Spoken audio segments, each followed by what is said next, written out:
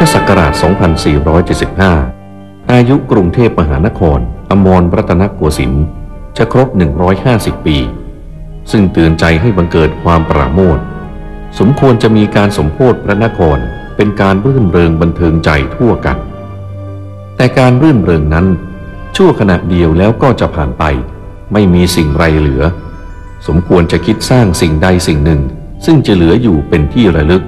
ในอภิลักษิตสมัยนั้นไว้ชั่วกาลนานด้วย เห็นว่า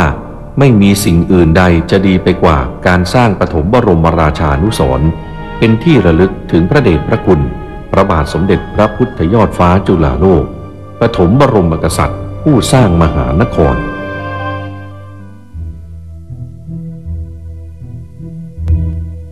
ปฐมบรมราชานุสร์ตามที่พระบาทสมเด็จพระปกเกล้าเจ้าอยู่หัว มีพระราชดำริไว้แก่คณะกรรมการดำเนินงานเป็นเบื้องต้นนี้ หลังจากประชุมปรึกษาหารือกันอย่างกว้างขวางแล้ว เห็นพ้องต้องกันว่า ควรสร้างสะพานข้ามแม่น้ำเจ้าพระยา เชื่อมพระนคร ให้ติดต่อกับธนบุรี จะได้เป็นประโยชน์สำหรับมหาชน รวมทั้งสร้างพระบรมรูปพระบาทสมเด็จพระพุทธยอดฟ้าจุฬาโลก ประดิษฐาน ณลานเชิงสะพานด้านฝั่งพระนคร ประกอบกันเป็นปฐมบรมราชานุสรณ์ได้โปรดกล้าโปรดกระหม่อมให้ทำสัญญาจ้างบริษัทดอแมนลองประเทศอังกฤษ ออกแบบและดำเนินการสร้างสะพาน ส่วนพระบรมรูปนั้น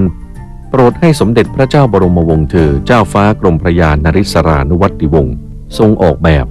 เพื่อมีพระบรมราชวินิจฉัยแล้วให้ศาสตราจารย์ศิลปีรศรีปั้นตามแบบส่งไปหล่อในยุโรป ส่วนคำจารึกเฉลิมพระเกียรตินั้น โปรดให้สมเด็จพระเจ้าบรมวงศ์เธอกรมพระยาดำรงราชานุภาพ ร่างข้อความส่งไปทำขึ้นพร้อมกัน นอกจากปฐมบรมราชานุสรณ์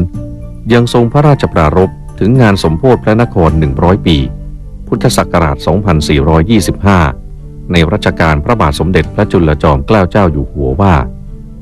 ได้ทำการปฏิสังขรณ์วัดพระศรีรัตนศาสดารามครั้งใหญ่ทั้งพระอาราม จึงโปรดกล้าโปรดกระหม่อมให้ดำเนินการอย่างเดียวกัน เนื่องจากอยู่ในภาวะเศรษฐกิจตกต่ำได้ทรงพระราชศรัทธา อุทิศพระราชทรัพย์ส่วนพระองค์ สมทบกับงบประมาณของรัฐบาล อีกทั้งพระราชทานพระบรมราชานุญาต ให้คณะกรรมการบอกบุญแก่ประชาชน ให้ร่วมบริจาคสมทบทุนได้ โดยสร้างเหรียญพระพุทธมหามณีรัตนปฏิมากร พระราชทานตอบแทนเป็นที่ระลึกสี่ชนิดคือ เหรียญทอง เงิน ทองขาวและทองแดง ในงานพระราชพิธีฉลองพระนครครบ 150 ปี ในเดือนเมษายน พุทธศักราช 2475 วัดพระศรีรัตนศาสดาราม ซึ่งว่างเว้นการปฏิสังขรณ์มานาน 50 ปี ก็ได้รับการบูรณะขึ้น ให้กลับสวยงามเป็นที่เจริญศรัทธาอีกครั้ง และมีงานฉลองวัดพระศรีรัตนศาสดาราม พร้อมกับพระราชพิธีเปิดปฐมบรมราชานุสรณ์ในวันที่ 6 เมษายน เพื่อฉลองพระนคร งานฉลองพระนคร 150 ปี จึงมีสิ่งอนุสรณ์ซึ่งเป็นประโยชน์แก่มหาชนอย่างยั่งยืน ตามที่ทรงตั้งพระราชหฤทัยไว้ ทุกประการ